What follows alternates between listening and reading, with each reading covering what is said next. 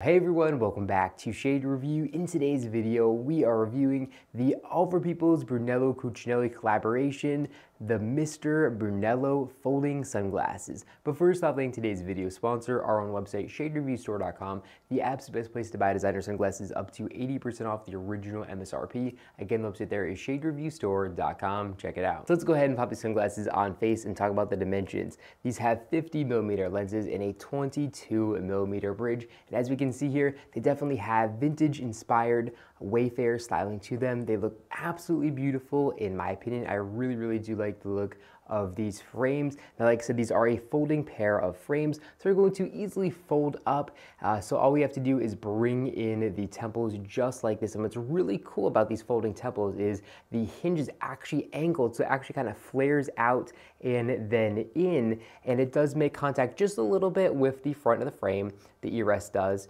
and it's going to make a tiny bit of contact there, so uh, potentially over time it's going to scratch just a little bit, uh, which is a little bit annoying. If they didn't have this angle here, there's no way that it would even get past this at all. Uh, so it's a little annoying that it rubs, but not that big of a deal. It's still very, very easily pop it in and out just like that. Then of course the middle is going to fold as well. And it all folds down to this very compact and nice looking pair of frames. So I really do like that a lot.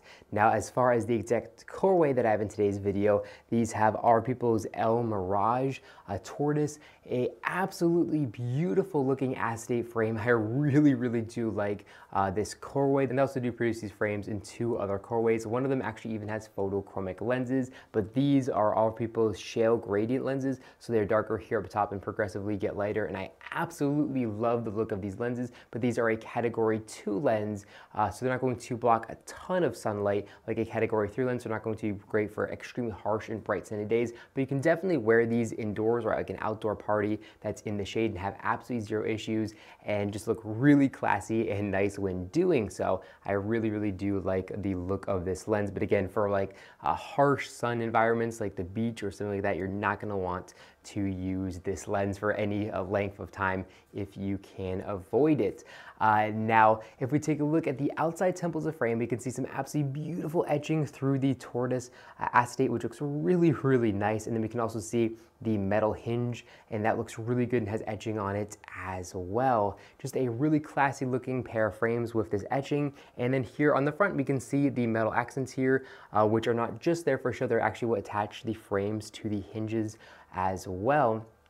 It's also going to be found right there. Just a really good looking pair of frames without any gaudy logos or anything like that. The only logoing on the front of the frames is going to be found behind the ear, so you really can't see it. We can see there's an embedded Oliver Peoples logo here on the outside left, and then here on the outside right, we can see a Brunello Cucinelli logo that's embedded into that and looks really, really beautiful, and it's there for authentication purposes, and it's there just for you, so you know uh, that it is an authentic pair, and then of course it also is that uh, collaboration between Oliver Peoples and Brunello Cucinelli. Now, as far as pricing goes, these frames are going to cost you $783, which is definitely very expensive. And if you do get the photochromic pair, I think that's about 830 or $840. So definitely a very, very expensive pair of frames. I think one of the most expensive pair of frames that Oliver Peoples uh, actually does produce. So definitely uh, expensive here. You're definitely paying a little bit more for the Brunello Cucinelli uh, collaboration and also for the folding features. Making a pair of folding frames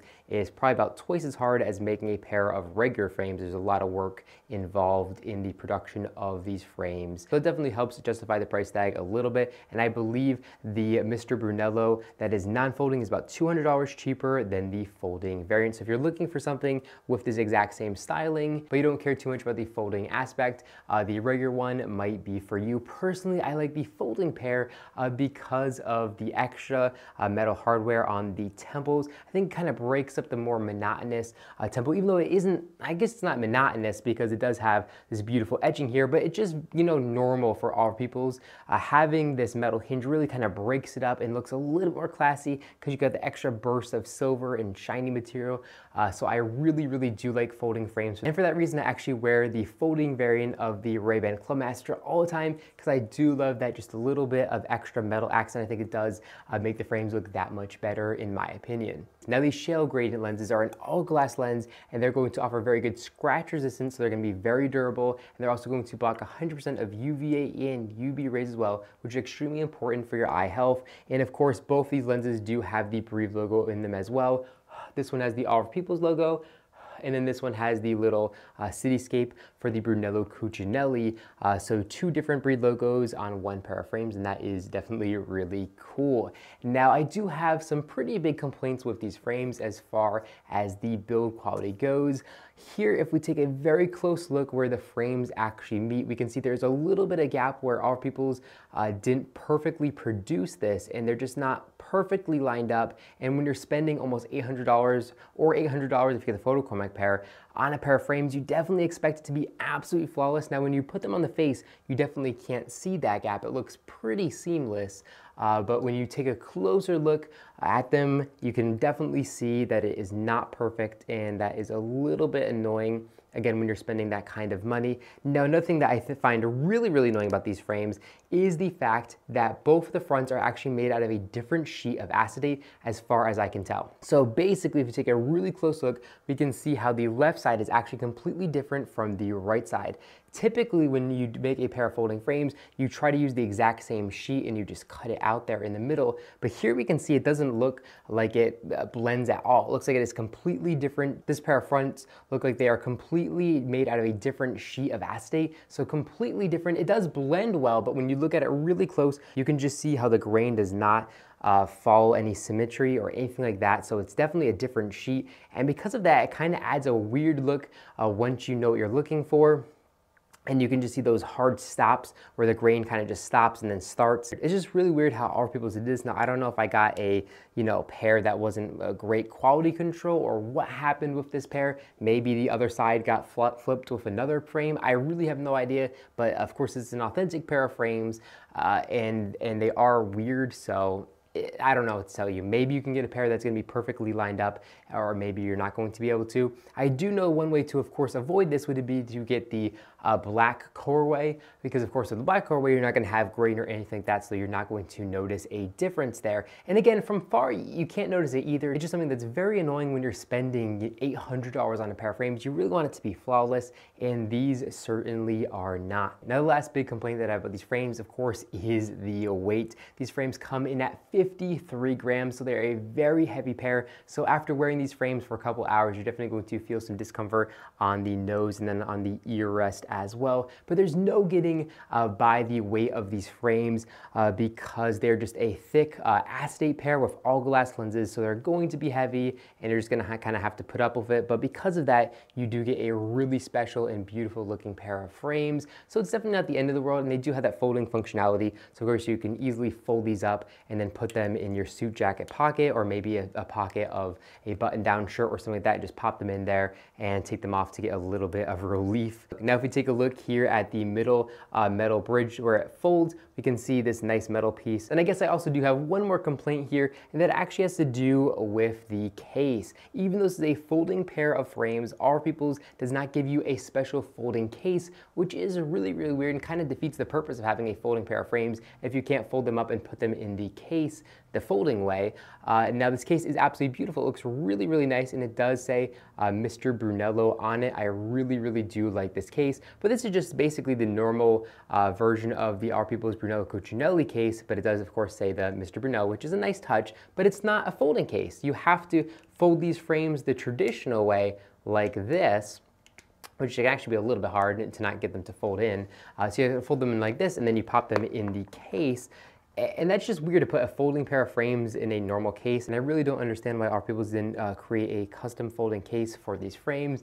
Uh, so definitely a little bit annoyed by that as well. If we take a look at the inner right temple of the frames, we can see a really, really beefy uh, hinge, which is really, really, really strong and durable. It's a five barrel hinge, and it's probably one of the most strong hinges that I've ever felt on a pair of frames. Just really, really solid and nice, so I do like that. And then here we can see it says Brunello Cucinelli, Oliver Peoples Vintage Glass and handcrafted in Italy. Now, if we take a look here at the middle uh, metal bridge where it folds, we can see this nice metal piece, which is there to add rigidity to these frames, and they definitely do feel very rigid. There is just a little bit of play here, not a lot, but there is a little bit of play, nothing too crazy, uh, but that metal hinge is definitely going to uh, do a good job of keeping the frame solid, even though that's probably the weakest point of a pair of folding frames but this feels really, really solid. And there are three different lines to it, three different sheets of metal to help to protect these frames. Now, if we take a look here at the inner right temple of the frames, we can see the Luxottica color code information. Then we can see it says Mr. Brunel in this really beautiful kind of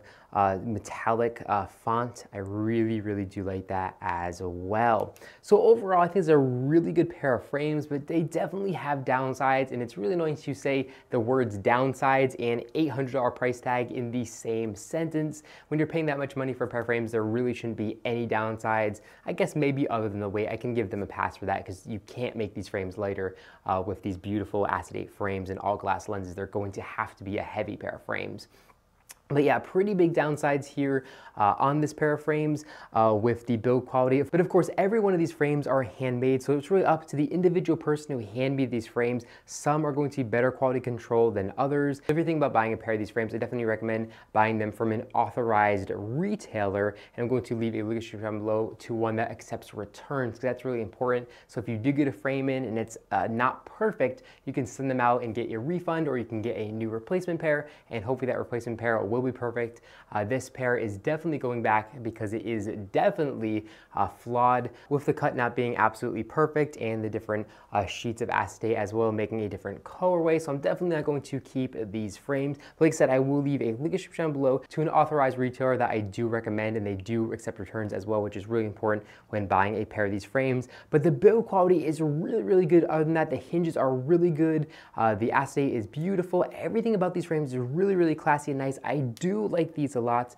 but again, I don't like those downsides, so uh, kind of a mixed bag as far as my feelings towards these frames. But if you own a pair, let me know what you think about these frames in the comment section down below. Now, if you're watching this video and you actually own a pair, make sure to let the community know uh, what you think about it in the comment section down below. Is it flawless? Uh, do you like them? Are they too heavy? What do you think about them? We'd be certainly interested to know in the comment section down below. and We can start a conversation there. But overall, like I said, a real mixed bag. I do love the look of these frames. I think they're really, really good. And I do love the folding aspect of them as well. And I hope you enjoyed the video. If you did, make sure to give me a big thumbs down below. And of course, make sure to hit the subscribe button and then you'll be notified every single time I upload a brand new video just like this one to our YouTube channel.